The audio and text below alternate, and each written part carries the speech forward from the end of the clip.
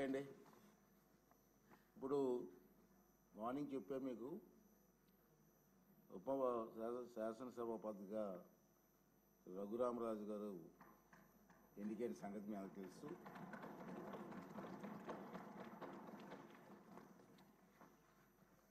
రఘురామరా కృష్ణరాజు గారు సభాపతిగా ఏకగ్రీవంగా ఎన్నికైనందుకు నాకు మనందరికీ మీ అందరికీ అందరికీ కూడా సంతోషమే. నాకు మరీ సంతోషం ఏంటంటే అతనికి మాకు చాలా సంవత్సరాలుగా కలిసి ఉన్నాం ఫ్రెండ్లీగా. ఇప్పుడు కూడా నవ్వుతూ నవ్విస్తూ ఉండే వ్యక్తి. అటువంటి వ్యక్తి ఇక్కడ డిప్యూటీ స్పీకర్గా రావడం మనందరికీ ఉల్లాసంగా ఉంటుంది ఇంకా. అతని సీట్లో ఉంటే.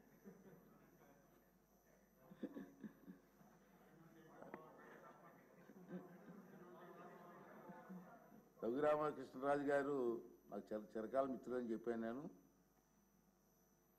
రాజుగారు ఫోర్టీన్త్ మే అరవై రెండో నాడు సంవత్సరంలో విజయవాడలోనే జన్మించారు. ఇక్కడే. వీరు సూనాయన రాజు గారు అన్నపూర్ణ దంపతులకు జన్మించారు. వీరు మా విశాఖపట్నం ఆంధ్ర యూనివర్సిటీలో చదువుకున్నారు. పోస్ట్ గ్రాడ్యుయేట్ పట్టా పొందే పొందారు. అలాగే ప్రముఖ పా పారిశ్రామికవేత్త మీ అందరికీ తెలిసిన విషయం కొత్త ఏం కాదు. వేల మందికి ఉద్యోగ అవకాశాలు కూడా ఒక పారిశ్రామికవేత్తగా కల్పించిన వ్యక్తి. తర్వాత వీరి తాతగారు జిఎస్ రాజు గారు ఆంధ్రప్రదేశ్ శాసన మండలికి డిప్యూటీ కా- చైర్మన్గా పనిచేశారు.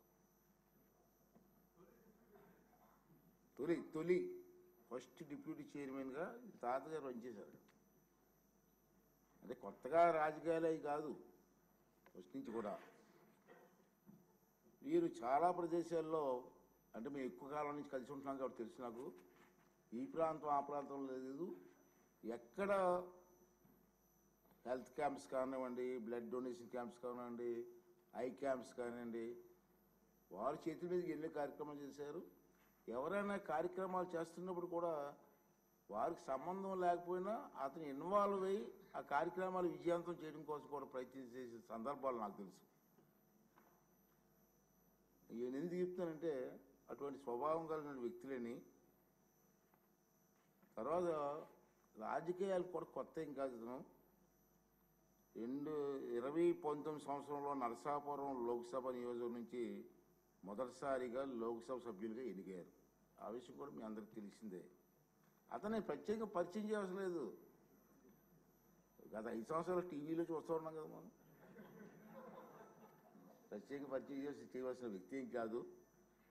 ఈ రాష్ట్రంలో మారుమూల గ్రామాల గురించి అడిగినా రా రాజుగారి చెప్పే పరిస్థితి ఉంది. అది ఏ ప్రోగ్రాం అండి? ఆ, గారు.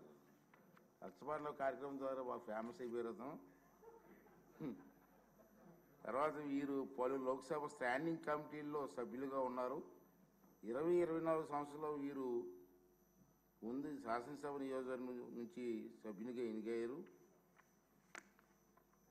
చంద్రబాబు నాయుడు గారి ఆశీస్సులతో మొన్న ఎన్నికలు గెలవడం జరిగింది.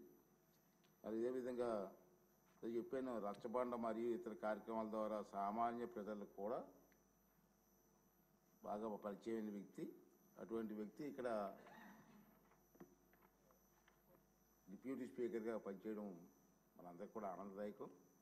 మరి చంద్రబాబు నాయుడు గారి ఆశీస్సులతో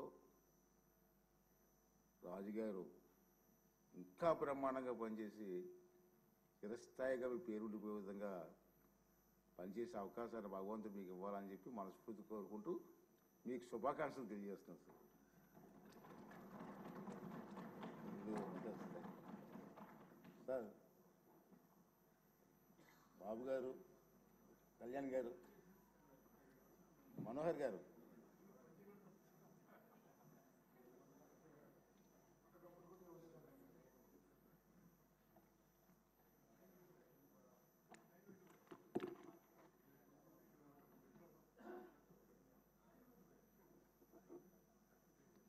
Him.